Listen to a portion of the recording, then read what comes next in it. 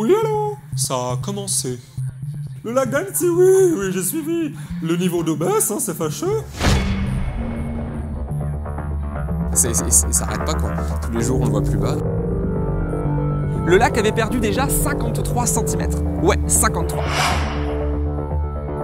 Mais les effets du dérèglement climatique n'affectent pas qu'Annecy et son lac. Juste à côté, on a le massif du Mont Blanc qui s'effrite ici et là sous l'effet de la chaleur. Alors, pour en savoir un peu plus, direction Chamonix.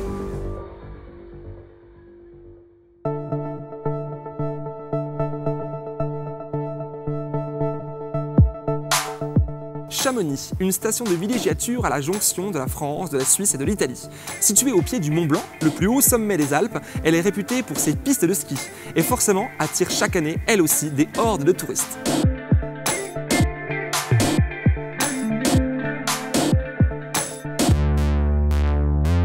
Toujours en septembre dernier, tandis que le lac d'Annecy s'évaporait, à 100 km de lui, le massif du Mont Blanc s'écroulait par endroits. Le dernier éboulement en date s'est produit il y a quelques jours au Trident du Tacu. La vire du Trident, une voie connue des alpinistes, s'est alors effondrée. Des grimpeurs ayant fait la traversée la veille ont ensuite rapporté avoir entendu des bruits inquiétants, sourds et venant des profondeurs, couplés à des chutes de cailloux. Ce n'est pas la première fois que des morceaux de montagne s'effondrent dans le massif sous l'effet du dérèglement climatique qui lui vient faire réchauffer les sommets et faire fondre le permafrost, déstabilisant donc tout l'ensemble. Donc je connais Chamonix depuis déjà une cinquantaine d'années.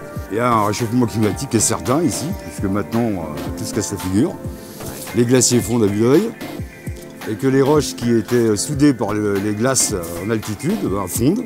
Et ce qui fait euh, que ça donne maintenant les éboulements que vous voyez ici, toutes les 5 minutes, là, ça se casse la figure. Écoutez, ici au mois d'octobre, regardez, il n'y a pas un nuage. En règle générale, c'est quand même des périodes où il commence à faire très froid. Et ça se couvre. Et regardez, là, il est pratiquement 5 heures du soir. On peut encore se balader en t-shirt. Fait beau. C'est inhabituel. Au col des montagnes, randonnée famille avec des jeunes enfants. Et effectivement, on a pu voir euh, des éboulements très importants de l'autre côté euh, qui nous ont fait peur parce que c'était des, gros roches, des grosses roches qui tombaient de la montagne. Et vous allez voir là, c'est, c'est- oui, c'est un petit pan, je pense que c'est le permafrost hein, qui... Et c'était impressionnant, ça s'est fait en trois fois. Du coup, les blocs descendent bas dans la vallée et on s'est fait la réflexion, on espère qu'il n'y a pas des randonneurs. Euh, bon, moi, cette année, c'est flagrant. Je trouve qu'il y a eu beaucoup d'avalanches euh, pendant l'hiver, mais là, les blocs, moi, je, je commence à avoir peur parce que ça atteint la moyenne montagne finalement. Est-ce que les gens ici font le lien avec vraiment l'attitude qu'on a en tant que consommateur, en tant l'impact écologique qu'on a en tant que citoyen? Eh bien oui, puisque je viens aussi vous avez- de refaire ma cheminée, puisqu'il y a les- la réglementation Vallée de Havre, on n'a pas le droit d'avoir des cheminées à foyer ouvert, n'est-ce pas? Donc j'ai été gentille et bien disciplinée. Euh, à grands frais, j'ai fait installer une cheminée à foyer euh, fermé. Hein, quand il y a tous les touristes, tout le monde met les cheminées, on le voit. Donc moi j'étais très pour, ça m'a pas choquée. Une fois que j'ai acheté, on- c'est le notaire qui nous a clairement dit vous avez un an pour euh, faire une cheminée à foyer fermé. Je dis c'est parfait.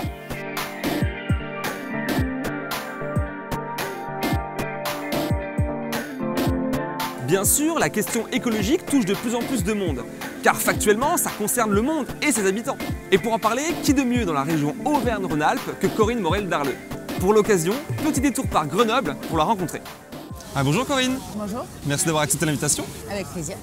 Alors en fait, ce- pourquoi j'ai voulu te voir aujourd'hui, c'est que j'ai été beaucoup touché par ta note de blog, euh, qui me semblait être euh, un appel à- vraiment à la conscientisation, euh, au secours. Enfin, il y a un truc qui se passe plus que d'une élue, une citoyenne qui qu'en peut plus, quoi.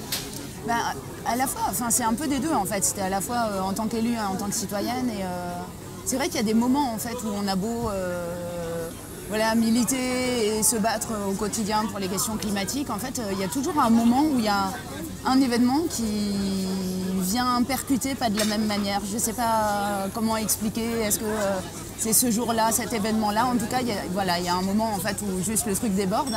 Et effectivement, cette espèce de cri du cœur que j'ai vraiment euh, eu besoin de partager, qui était euh, de dire, mais en fait, voilà, comment est-ce qu'il faut dire les choses? Ça fait un peu plus de deux ans maintenant que euh, je m'occupe des questions de montagne, que je siège en commission montagne, que j'interpelle du coup euh, l'équipe de Laurent Wauquiez sur ces questions-là, qu'on continue, on en est, euh, je crois, à 38 millions d'euros de financement pour euh, les- la neige artificielle, les canons à neige. Et que en fait, il y, a- il y a un espèce de truc de déni climatique qu'on n'imagine même plus pouvoir encore exister euh, dans des institutions euh, financées par l'argent public. Quoi. Et donc, en tant qu'élu, bah, j'ai eu l'impression de m'être démenée et d'être allée activer en fait tous les leviers que j'avais. quoi. Et euh, même s'il y a des petites choses qui, qui bougent, c'est tellement lent qu'il y a un moment où euh, ouais, on a juste envie euh, de, de crier. Quoi. Je me définis comme éco-socialiste et l'éco-socialisme, c'est précisément ça, c'est de dire euh, l'écologie n'est pas compatible avec le capitalisme, euh, si on résume. hein. Euh, mais en gros, euh, voilà, c'est ça l'éco-socialisme. Donc moi, je suis entièrement d'accord avec ça. Et, euh, d'ailleurs, euh, sur les questions de montagne, euh, je bataille beaucoup aussi contre le lobby du ski. Euh, qui est très présent dans notre région, qui représente des sommes très importantes. Les stations de ski, euh, l'activité de ski alpin, tout ça, ça, représente à la fois beaucoup d'argent et puis aussi euh, beaucoup d'enjeux électoraux parce que beaucoup de moniteurs de ski sont aussi électeurs, notamment pour les sénatoriales. Donc on a là un espèce de maelstrom de, ces collusions entre les intérêts politiques, les intérêts économiques, puissance, euh, puissance 1000 sur le ski. Donc ça fait aussi partie de ce combat pour la montagne que euh, là aussi, une fois de plus, d'aller euh, traquer euh, les lobbies et de les rendre visibles. Oui, parce que comme tu dis, c'est pas compatible. Encore une fois, sur- dans un système économique libéral et capitaliste, le, le- le profit vaut mieux que tout le reste. On le voit là, avec, dans l'épisode 1 de, la- de cette série de vidéos, on est passé à Annecy avec ce lac qui s'évapore. Et malgré qu'il s'évapore, on va pas arrêter de faire de la neige artificielle avec l'eau du lac, par exemple. T'en dis quoi, toi, à ce niveau-là? Le- L'équation, elle est très simple. hein. C'est-à-dire que, euh, aujourd'hui, on est euh, dans une logique du tout ski en montagne qui répond à des, impératifs économiques euh, capitalistes et qui fait que très concrètement, les 38 millions d'euros d'argent public hein, qui ont été investis sur la neige artificielle ne sont pas investis ailleurs euh, sur euh, la diversification, etc.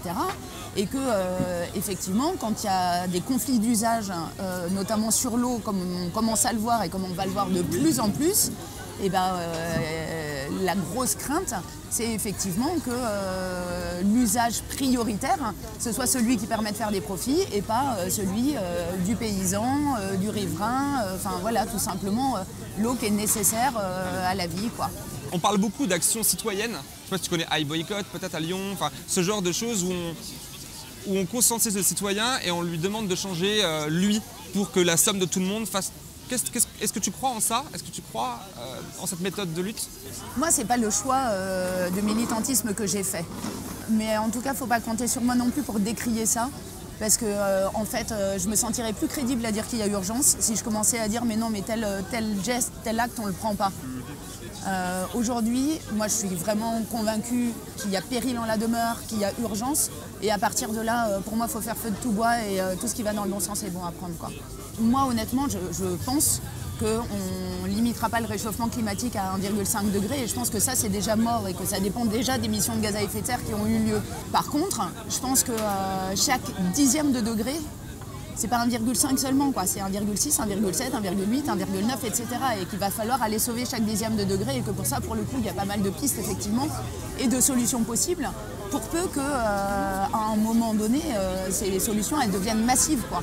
C'est-à-dire qu'aujourd'hui, euh, ce qui est impératif, hein, c'est d'arriver à massifier un petit peu tout ça, à faire pression sur les politiques, mais pas seulement, et puis euh, avoir un rapport de force, notamment vis-à-vis des entreprises, des banques, euh, des lobbies, euh, des pétroliers, qui voilà, changent un petit peu la donne.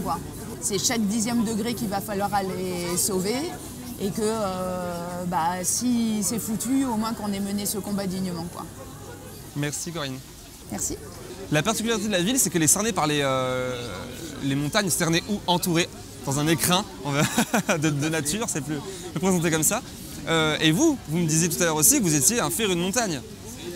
Et là, de les voir s'effriter un peu comme ça et de s'écrouler à droite à gauche, qu'est-ce que ça vous fait? Ah ben, comme, euh, comme Corinne le disait tout à l'heure, on est, on est tous très attachés à notre environnement montagnard parce que la montagne nous renvoie à l'infiniment petit de l'humain dans notre euh, grande nature. Et effectivement, c'est un choc pour chacun de constater que le changement climatique, frappe deux fois plus en montagne qu'en plaine. C'est évident, le GIEC le dit, et nous pouvons le constater dans notre vie de montagnard, puisque en repassant aux mêmes endroits à quelques années d'intervalle, on voit la régression des glaciers on voit les effondrements rocheux parce que le ciment glaciaire, le permafrost qui tient les rochers au-dessus de 3000 est en train de disparaître euh, avec des étés extrêmement chauds. Donc oui, c'est choquant, on le voit directement. Mais en tant qu'élu de la ville chargé des politiques jeunesse en particulier, ça veut dire qu'on agit autrement. Nous, notre politique, c'est on a un programme qui s'appelle Jeunes en montagne, par lequel on emmène un maximum de jeunes grenoblois, des quartiers populaires de la ville en particulier, découvrir l'environnement de la montagne. Parce qu'il n'y a pas de meilleur moyen pour faire prendre conscience aux gens de la fragilité de notre environnement que de les y emmener, de leur faire constater ce qui se passe. Et après, quand ils redescendent en ville, bah, ils sont un peu plus conscients. Donc, effectivement, ils participent mieux aux efforts collectifs que nous devons tous faire. Annecy et Chamonix-Mont-Blanc, deux villes situées en Haute-Savoie, pas très loin de la vallée de l'Arve, tristement polluée. Là, chez nous, en France, où l'on mesure bien concrètement les limites climatiques atteintes par les activités humaines. Quoi de plus logique dans cette société néolibérale où les profits financiers comptent plus que la vie? Néanmoins, les lignes bougent quand les citoyennes et citoyens prennent conscience de leur classe sociale et de l'intérêt de défendre le bien commun. Dans le prochain épisode, une bonne grosse nouvelle. On ira à la rencontre de gens qui se sont battus pour faire annuler un projet de bétonisation de 20 hectares de terres agricoles à Annemasse près de Genève. En attendant, like, partage, commente cette vidéo et abonne-toi. Tu peux aussi soutenir mon travail sur Tipeee parce que j'ai encore mille choses à te dire et surtout parce qu'ensemble, on est prêt à relever le défi climatique.